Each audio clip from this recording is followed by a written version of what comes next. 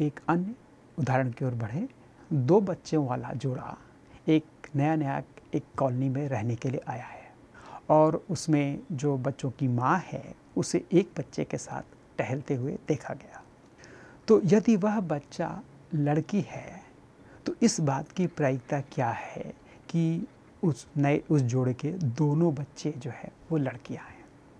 तो इस प्रश्न का कथन तो बहुत छोटा सा है, लेकिन इसकी व्याख्या करने में हम देखेंगे, क्योंकि हमें बहुत सारा अनुमान लगा के तो ये बड़ी ही प्रैक्टिकल समस्या की तरफ़ है अगर हम एक जोड़े के बारे में नहीं जानते हैं ये पता है कि उनके दो बच्चे हैं, लेकिन उसमें से बच्चों की माँ के साथ अगर एक बच्चा दिखता है तो दूसरा बच्चा क्या वो लड़का है कि लड़की है या यह निकालना है? तो हम देखते हैं कि कैसे हम इसे सैद्धांतिक रूप से इस तरह की समस्याओं का हल की ओर बढ़ते हैं।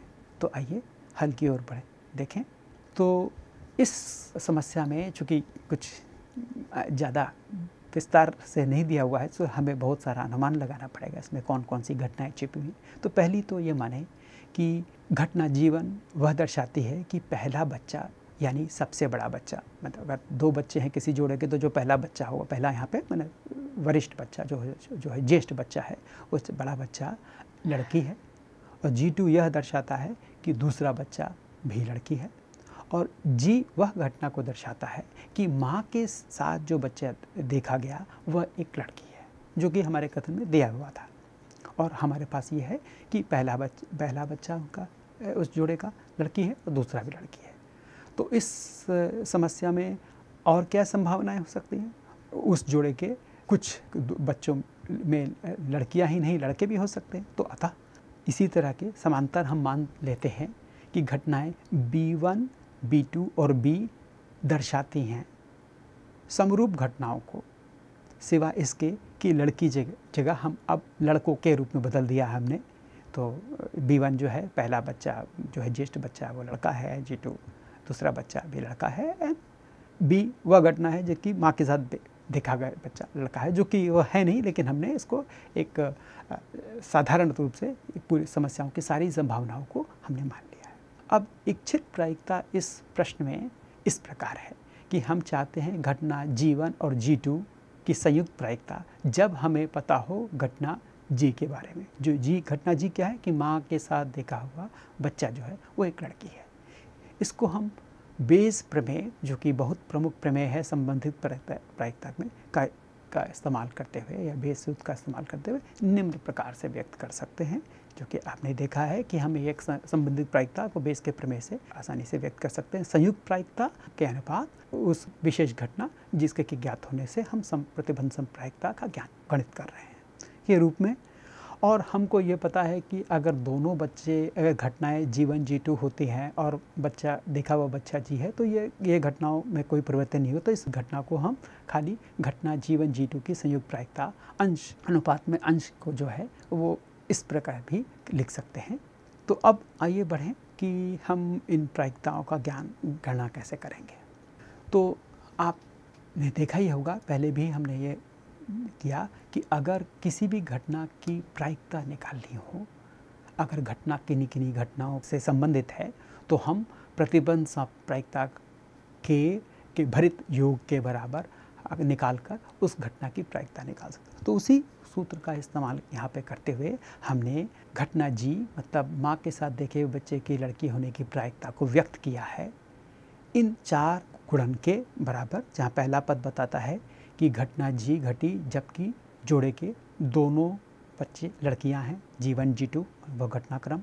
और क्या प्रायिकता होगी घटना जीवन जी टू के संयुक्त प्रायिकता? इस तरह दूसरी प्रायिकता, प्रतिसंबंध प्रायिकता है घटना जी की, जब पहला बच्चा लड़की और दूसरा बच्चा एक लड़का है।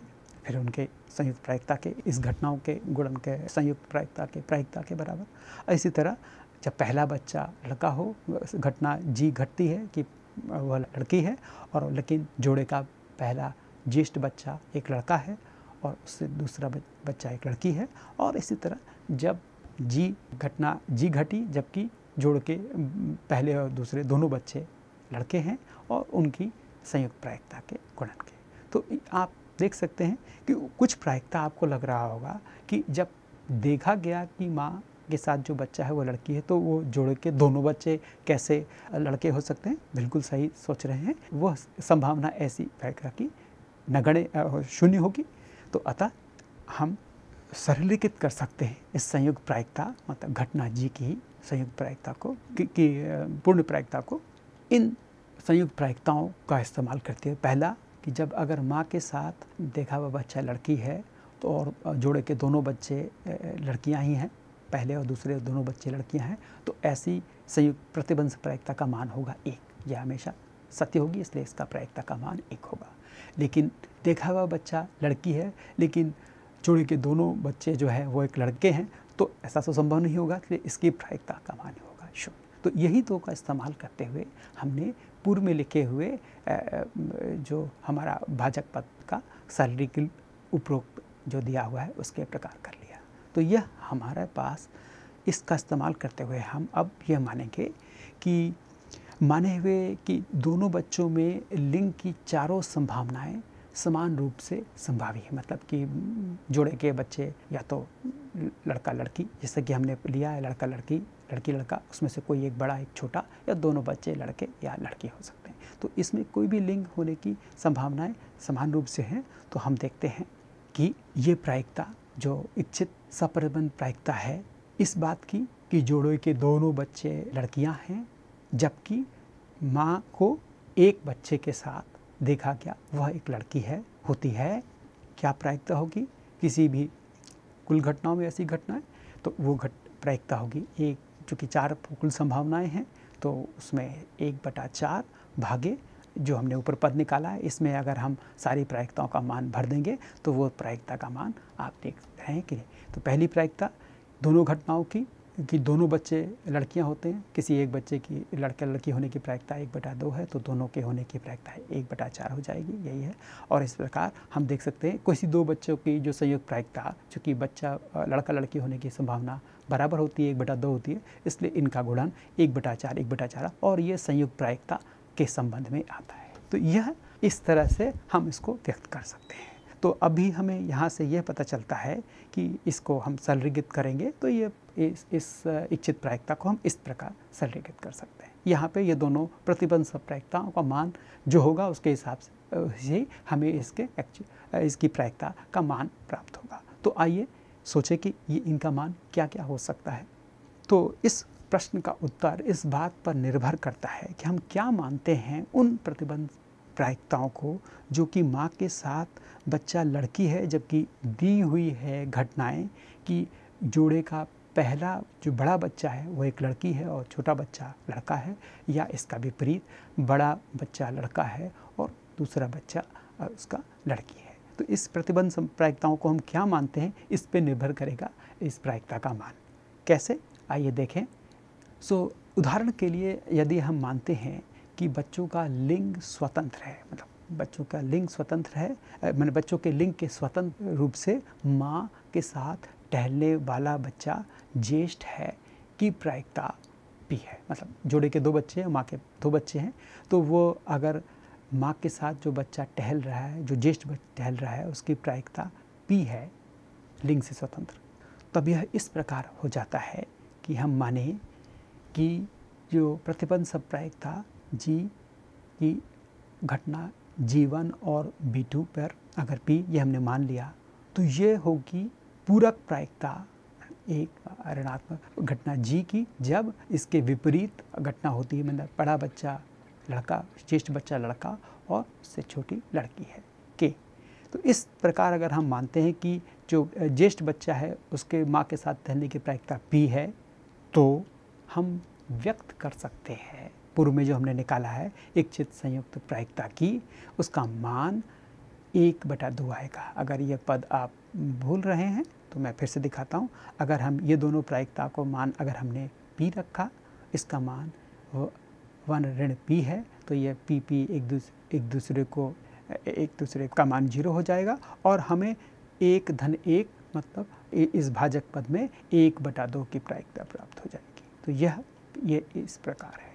एक और परिस्थिति संभव है, वो ये है कि दूसरे हम ये माने कि यदि बच्चों के जो लिंग भिन्न भिन्न है, जोड़ों के, या तो लड़का लड़की हैं, एक ही लिंग के बच्चे नहीं तो माँ के, बच्चों के जन्म के क्रम से स्वतंत्र, लड़की के साथ घूमना और टहलना पसंद करने की प्रायिकता क्यों है, तब इच्छित प्रायिकता को हम इस प्रकार भी व्यक्त कर सकते हैं। यह एक दूसरा तरह का किस हम, हमारे इस प्रायिकता के प्रश्न में एक दूसरी संभावना को हम कर रहे हैं कि दोनों बच्चों का लिंग भिन्न है और माँ पसंद करना चाहेगी एक लड़की के साथ, उसकी प्रायिकता क्यों है? तो हमको पता है कि अगर ये दो दो प्रायिकता जो होगी बराबर होगी क्योंकि पहला है कि बड़ी लड़की है या बड़ा लड़का है, लेकिन माँ तो पसंद करेगी हमेशा लड़की के साथ, उसकी प्रायिकता क्यों है? तो ये दोनों प्रायिकता समान हो जाएगी और इनका मान क्यों हो जाएगा? तो अगर हम यह प्रायिकताओं का मान पूर्व में निकाली हुई इच्छित प्रायिकता के साधारण जो है, जो फलन के रूप में रखें तो उससे उसका प्रायिकता का मान एक भागा एक धन टू क्यू हो जाता है। तो पुनः आपकी जैसे आपकी ईस्वी पद में हम रखें, अगर दोनों प्रायिकता का मान अगर हम क्यू रख देंगे तो यह एक भागा एक धन टू क्यू हो जाएगी। तो यह एक और व्याख्या इसकी हो सकती है। अब क्या होगी क्यू प्रायिकता? अगर यह मान लिया जाए, यह एक और इसमें अनुमान किया जाए कि माँ हमेशा लड़की के साथ ही टहलना पसंद करेगी, यानी जो प्रायिकता क्यू है उसका मान एक होगा तो उपरोक्त प्रायिकता को हम देख सकते हैं। वो एक संख्यात्मक रूप में मिल जाती है। अब उसका मान होता है एक बटा तीन। तो अगर माँ हमेशा लड़की के साथ टहलना पसंद करेगी तो इस प्रश्न में उस जोड़े के दोनों लड़कियाँ होने की प्रायिकता, जबकि यह पता हो कि एक बार माँ को एक लड़की के साथ देखा गया होती है, एक बटा